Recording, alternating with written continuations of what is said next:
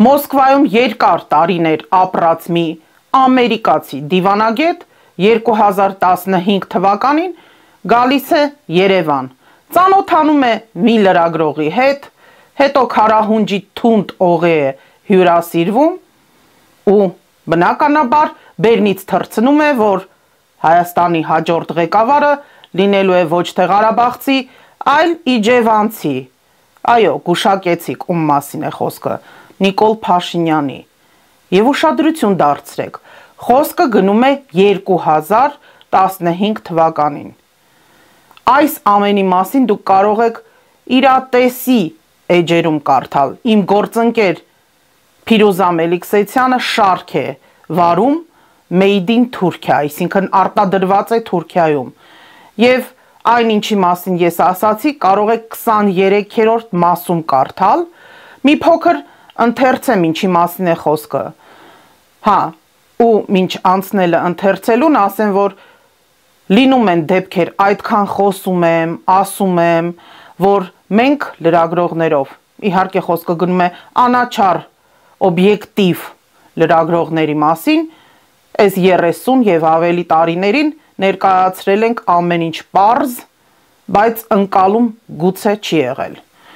Եվ Փիրուզա Մելիքսեթյանը այդ լրագրողների շարքերում է։ Մենք բոլորի հետ միասին տանջվում ենք մեր հայրենիքի հետ պատահածին եւ պարտավորված ենք զգում, որ այն արխիվային տվյալները, որոնք կարող են Հայաստանի պատմության մասին ասել, ոչնչացվել են եւ այսօր դուք կայքերի մեջ չեք կարող տեսնել, օրինակ անցած հաղորդմանը ես ասեցի, որ Հայաստանի Հանրապետություն թերթն էլ երբ փակվեց, կայքն էլ փակվեց եւ ամբողջ արխիվն էլ։ Իսկ դա կառավարության, այսինքն պաշտոնական Հայաստանի Հանրապետության թերթն է եղել եւ շատ բաներ այնտեղից մեզ պետք էր իրավական, օրինակ, ինչ որ գործընթացների համար եւ այլ հարցերում։ Հիմա չկա դա։ Իդեպ մեր ազգային արխիվի գլխին էլ ամպեր կուտակեցին, ասեցին մեկ հրդեհ է եղել,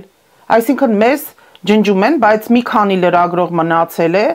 որ կարող ենք իսկությունը ասել ու իսկությունը ասել հենց Նիկոլ Փաշինյանի մասին։ Այսօր ես իմ անձնական փորձը չեմ պատմում, այլ պատմում եմ հենց Փիրուզայի տեսակետից։ Նա իրատեսի ղեկավարն է, այսինքն գլխավոր խմբագիրն է եւ Made in Turkey շարքում մանրամասն ներկայացնում է, թե ով է եղել Նիկոլ Փաշինյանը եւ ով է իրեն ֆինանսավորել, սատարել, այսինքն կանաչ ճանապարհ նրան տվել։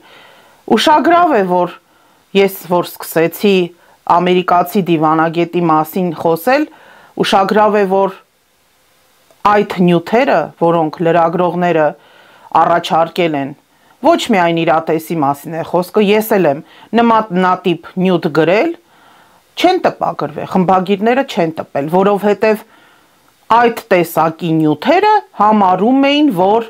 օթից կախված լուրեր են։ Այսինքն նման եզրույթ 2018 թվականից այս կողմ եկավ։ Եվ այսպես Փիրուզան գրում է. Իրատեսի լճից լիճ Հայաստան խորագրի հիմնադիր եւ վարող Վրեժ Արաքելյանը սովորույթի ուժով անհրաժեշտը որպես կանոն համատեղում էր հաճելիին եւ աշխատանքը զուգակցում մի գավաթ սուրճ կամ մի բաժակ կոնյակ վայելելու արարողությանը։ Արդյունքը երբեմն ոչ միայն շարքի հերթական էսսեն էր, այլև բացառիկ այնպիսի ինֆորմացիա, որի տեսակը 2018 թվականի գունավոր հեղափոխությունից հետո պետք է դասվեր օթից կախված լուրերի շարքին։ 2015-ի գարնանը նկարչի տանը բացված ցուցահանդեսում շատ պատահական մի ծանոթություն երկար տարիներ Մոսկվայում աշխատած ու ապրած ամերիկացի ինչ որ դիվանագետի հետ շարունակվում է վրեժի ընկեր նկարչի արվեստանոցում, բայց ոչ թե կոնյակի, այլ քարահունջի մաքուր թթի օղու ընկերակցությամբ։ Առավոտյան խումհար զվարթությամբ խմբագրություն ժամանած վրեժը մեծ գյուտ արածի արտահայտություն տալով դեմքին խորթավոր դիմեց ներկաներին Ուզում եք իմանալ Հայաստանի հաջորդ նախագահի ինքնությունը։ Կատակեցի։ Քեզ անձամբ են զեկուցել։ Հ, պատկերացրու հա, ընդ որում ներծծված ու օծված քարահունջի օղիով։ Գառնիկ Իսագուլյանի ասածը. ՀՀ հաջորդ նախագահն էլ է Ղարաբաղցի լինելու վաղուց գիտենք, չկրկնես։ Արցախցի չի, իջևանցի է։ Պարզ է, թթի օղին լավ էլ թունդ է եղել։ Այնքան, որ արցակել էր ամերիկացի դիվանագետի լեզվի կապերը, երթվեց բոլոր սրբություններով, թե հաջորդը երկիմաց ցկեց պաուզան։ Նիկոլ Փաշինյանն է։ Անսպասելի հոմերյան քրքինջ ասես պայթեցրեց մեր խմբագրությունը։ Որպես չար կատակ մտքումս արկայծեց ծիծաղում է նա, ով վերջում է ծիծաղում։ Ժողովրդական իմաստությունը, սակայն չբարձրաձայնեցի ու դիմեցի վրեժին։ Դիվանագետիդ անկաշկանդ կարող ես դեկվալիֆիկացիայի ենթարկել։ Փող խմբագիր Լիլի Մարտոյանի հետ խորհրդակցելուց հետո մեր հարգանքի տուրքը մատուցեցինք օթից կախվածին ինչպես սիրում է որակել հայկական մամուլը, էքսկլյուզիվը նետեցինք աղպարկը։ Իրատեսի մոսկովյան թղթակից Ռուբեն Հայրապետյանի այդ օրվա ռեպլիկին գիրք ընդխառն։ Հետաքրքիր զուգադիպությամբ Ռուբենը անդրադարձել էր ԱԺ падգամավորների ու ՀՀ տարբեր ղեկավարների անուններին։ Նրա թիրախում էր հայտնվել հատկապես ՀԱԿ-ի համամասնական ցուցակով падգամավոր դարձած հայտնի իջևանցին։ Ռուբենը կատակով գրում էր. «Երբեմն անհնարինը իրականության վերածվելու հակումներ է դրսևորում։ Հետևաբար, чем черт не шутит, пока Бог спит»։ Խորհուրդ կտամ սրբագրես անունդ ու հայրանունդ։ Ինչու՞։ Պատկերացնում ես, սատանի ականջը խուլ հանկարծ քաջ Նազարի բախտով Աստված մի արասցե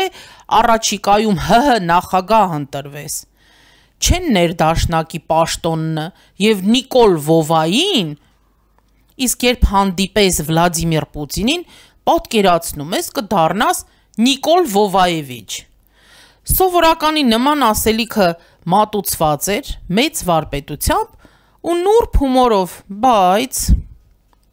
Այո, արկա էր շատ կարևոր մի բայց, ինչպես կասեր ռուսը «չորնի պյար, տոժը պյար», որ կթարգմանվի հակագովազդը երբեմն կարող է փոխել նշանակետը ու աշխատել տվյալ օբյեկտի օգտին։ Բացարձակապես ցանկություն առավել եւս նպատակ չկար ինչ որ խոտորնակի գովազդով զբաղվելու թեկուս եւ հակա։ Այս պատմությունը առաջին անգամ մտաբերեցի 2018-ի ապրիլին, հիշում է Փիրուզա Մելիքսեթյանը եւ շարունակում. Երբ ամեն ինչով մարդ հակագովազդը համոզված մարգարեացավ, թե հենց հասնեն մայրաքաղաք, ուղիղ 10 օր անց ապրիլի 23-ին Սերժ Սարգսյանը հրաժարական կտա եւ իրենք կվերցնեն իշխանությունը։ Ինչի ականատեսը եւ բոլորս դարձանք։ Խարահունջի օղին վայելելու հաջորդ իսկ օրվանից իզով, թոզով կորած դիվանագետը, սակայն մի մանրամասնել էր գախտնազերծել։ Ուշադրություն։ Այն է, շատակերությամբ փայլող դիվանագետի բնութագրումներ դա։ Խաղաղական գործչի հաղթարշավը երկար չի տևելու։ Գալուց որոշ ժամանակ անց գին պետք է վճարի, ու ոնց անսպասելի հայտնվել էր, այդպես անսպասելի էր անհետանալու է ի դեպ մտաբերենք գնի մասին հետ հեղափոխական Հայաստանում ակնարկեց եւ Օքսֆորդի համալսարանի Սուրբ Աննա քոլեջի քաղաքականության եւ միջազգային հարաբերությունների ամբիոնի պրոֆեսոր, Օքսֆորդի միջազգային հետազոտությունների կենտրոնի տնօրեն Նիլ Մարֆարլեյնը։ ՀՀ վարչապետը գին պետք է վճարի։ Իսկ ո՞րն է այդ գինը։ Նիլ Մակֆարլեյնի պնդմամբ ադրբեջանական համայնքը պետք է մասնակցի Ղարաբաղյան բանակցություններին։ Նաև հակամարտությունը արգելակում է ընդհանուր առմամբ տարածաշրջանի տնտեսական զարգացումը, մինչդեռ Մեծ Բրիտանիան տարածաշրջանում տնտեսական գործընթացների մասնակից է։ Մեծ Բրիտանիան մեծ ներդրումներ է կատարում Ադրբեջանում, մասնավորապես Ադրբեջան-Թուրքիա խողովակաշարում, եւ հակամարտության ակտիվ փուլի վերսկսման դեպքում այդ ամենը խոցելի կդառնա։ Մեկնելով ադրբեջանական Եվլախ, այնտեղից կտեսնեք Ղարաբաղի բարձունքները, որքան մոտ է ամեն բան, իսկ խողովակաշարը անցնում է այնտեղից ոչ հեռու։ Հետևաբար մենք շահագրգռված ենք հակամարտության կարգավորմամբ։ Եվ ի վերջո, մենք ունենք բազմակողմ պարտավորություններ՝ Մեծ Բրիտանիան, ԵԱՀԿ եւ փաստացի դեռ ԵՄ անդամ է։ Վտանգավոր այս բարձրաձայնումը, սակայն, հետհեղափոխական խառնաշփոթի բովում անուշադրության մատնվեց։ Հավարդ միջանկյալ հատվածի պատասխան չակնկալելով մի քանի կենսական հարցադրումներ Այնուամենայնիվ, պատահականություն էր, որ 2015-ից էլ առաջ պրես ստենդի խողովակներով տարիներ շարունակ անվերադարձ իրացվում էր սյուն դեղնախտի դեղին թռուցիկը, այսինքն հայկական ժամանակի մասին է գրում Փիրոզան։ Ըստ ստույգ հաշվարկների այդ ճանապարով Սուրբ Աթոռում ՀՀ նախկին դեսպան Միքայել Մինասյանը 8 տարում դրան վճարել է 4 միլիոն դոլար։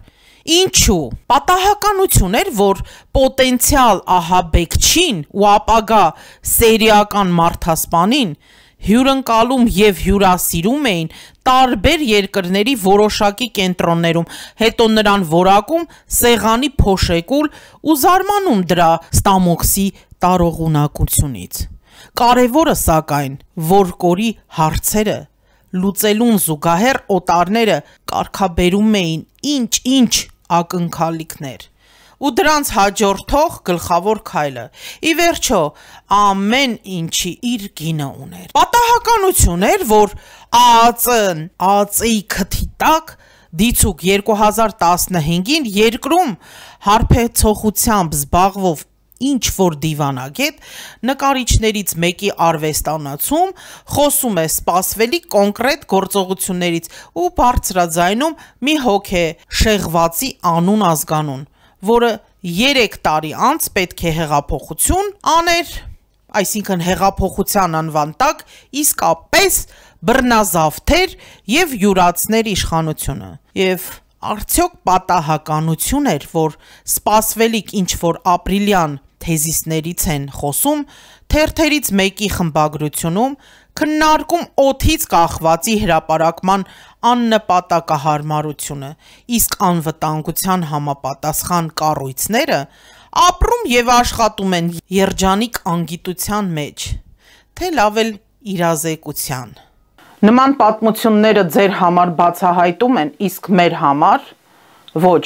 Լրագրողները շատ բան գիտեին։ Ուղղակի մեր գրածը այն ժամանակ քչերն էին կարդում։ Ես հիշում եմ, որ հայկական ժամանակը ամենավաճառվող թերթն էր։ Ա, ինչ գրում էր, այն էլ կարդում էին։ Այսինքն կոպիտ ասած, քիչ, քիչ, քիչ ժողովրդի ականջին լցվում էր այն, ինչ որ հետագայում բերեց Արցախի հանձնմանը, հիմա էլ Հայաստանի կործանման գործընթացին։ Ես ասում եի, որ հեղափոխությունները հենց այնպես չեն լինում նորմալ կարդացած մարդը իհարկե համամիտ կլինի։ Ոչ մի հեղափոխությունից հետո ոչ մի երկրում ոչ մի լավ բան չի եղել։ Հետևել են պատերազմներ։ Այդպես էլ եղավ։ Եվ այդ հեղափոխությունները միշտ պատրաստվում են դրսից։ Հայաստանի դեպքում པարզ է, չէ, ով պետք է այդ հեղափոխությունները պատրաստեր։ Այն որ ասում էինք ասում էին ինչ սորոսական, Լավ, եթե Սորոսը չի, ապա որտեղից էին այդ գումարները։ Շատերը նաև հրապարակում էին, որ այստեղ ադրբեջանական դոլարներ կային։ Որտեղից եւ ինչ էին գալիս։ Եվ այդ ինչ է մեր ներքին գործերի հարցերով պատասխանատուները այս ամենը չգիտեին։ Այսինքն ԱԱԾ-ն այստեղ ոչ մի կերպ չէր աշխատում թե այդ ԱԱԾ-ն արդեն գրավված էր։ Եթե 2015 թվականին, ինչպես սկզբում հաղորդման ասեցի, շատ կասկածելի մի ամերիկացի դիվանագետ ասում է այն, ինչ տարիներ հետո կատարվում է, բայց համոզված եմ, ոչ մեկ չէր պատկերացնում, որ 2015 թվականին Նիկոլ Փաշինյանը կգա գահին եկավ։ Եկավ նաև այսօրը։ Այսօր առավոտյան սկսվեց Արցախի ռմբակոծումը։ Այսօր 2020 թվականներ։ Եվ ես Արցախի Արցախում 2020 թվականի պատերազմի ժամանակ եղածս մի փոքր պատմեմ, թե ոնց էր այդ ամեն ինչը։ Իհարկե դրա մասին իմ ալիքում ցույց եմ տվել, կարող եք դիտել Արցախ հատվածում վիդեոների բաժնում, բայց ինչ էին պատմում մարդիկ։ Առավոտյան գրեթե բոլոր գյուղերում զանգ է հնչել, որ կանանց երեխաներին վերցնեն եւ գնան կամ ապաստարան կամ դեպի Հայաստան այն կադրերը, որոնք ադրբեջանցիներն էին ցույց տալիս, այդ մեծ գաղթը, դրանք փաստորեն ճիշտ էին։ Իսկ Երևանում եղածներս պատկերացնում ենք, որ այդպես չէ։ Ես երբ որ գնացի Արցախ, հասկացա, որ դա իսկություն է։ Արցախը գրեթե դատարկված էր։ Բացառությամբ մեր զորքերի եւ բացառությամբ մի քանի տղամարդով ամեն մի գյուղում կամ գյուղ կար ընդհանրապես դատարկված էր, անտառներում էին մարդիկ, այսինքն այսօր ես հիշում եմ այդ պահերը, թե ինչպես էին փոքրիկ երեխաներին, քնաթաթախ, ծերերին, հիվանդներին լցնում մեքենաները, շատ դեպքերում դրանք բեռնատար մեքենաներ էին։ Այդ կադրերն էլ եմ պահել։ Դա եմ հիշում։ Ու ես համոզված եմ նրանք, ով այս 4 տարիներում ապրեցին կենթանի են, իրենց համար շատ ծանր է այս օրը հիշել։ Ես էլ եմ ծանր հիշում, բայց իմ համար եւ շատ նորմալ մարդկանց համար եւ հատկապես զոհված երեխաների, հարազատների համար ծանր է, երբ որ քաղաքացիական պայմանագիրը գնում է Եռաբլուր եւ ազգային ժողովի նախագահ Ալեն Սիմոնյանը բղավում է